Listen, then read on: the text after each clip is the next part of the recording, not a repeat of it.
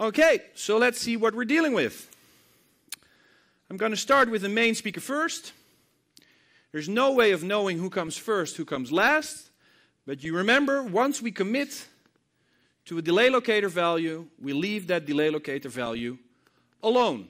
There's no touching the delay locator after we commit to a value. Okay? So let me set the gain structure. Coherence, look at that. Okay? We're measuring speaker, not moving lights, not beamers. And no fans. So, why does the high frequency section went all foobar? Where foobar means fucked up beyond any recognition. Yes, I'm only like a gazillion degrees off axis. Does it matter for this exercise? No, because I'm not trying to time align these frequencies to the subwoofer. I'm trying to time align these frequencies to the subwoofers. I couldn't care less what happens over here. This is not part of the exercise. The reason that I'm trying to do this in half space is because then at least you will always avoid one reflection, which is that nasty floor bounce, because you became one with the floor. That we now committed ourselves to, this is now off limits, okay? There's no more changing this after now. Now we look at our subwoofers, and I imagine that if the polarity of these speakers, when we change that to have the phase trace run at zero, I'm going to do this intuitively as well. Okay? But maybe I'm wrong. Because this manufacturer chooses to reverse the polarity for all the products to make them compatible to their legacy products. So, let's mute our main speaker and unmute the subwoofer.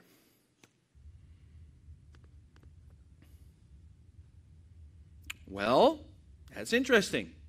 We'll talk about this later. First, we're going to make our levels match, something more reasonable like this, which would give us a unity crossover at 100 Hertz. Does everyone see that? It also means that we need to lower the subwoofer level by 8 decibels, which means that I go to my processor.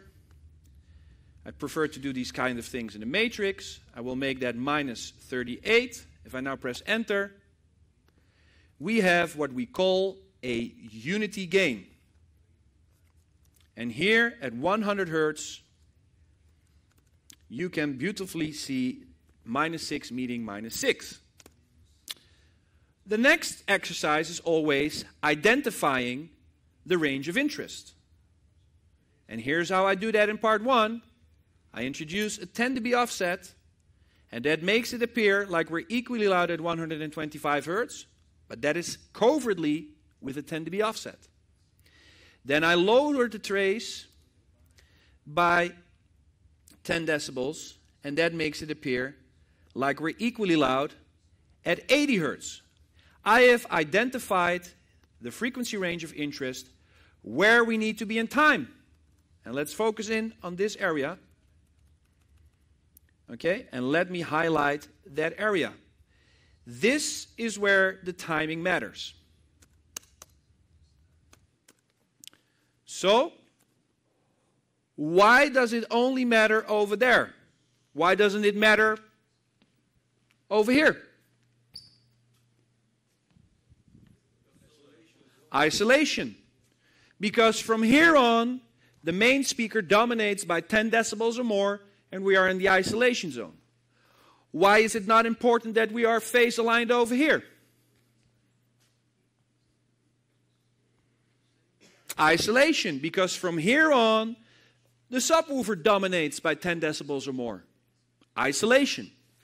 This is the frequency range where it matters, and this is top of the combing zone. This is where you're equally loud. If you do not make sure that you're in phase over here, well, buckle up.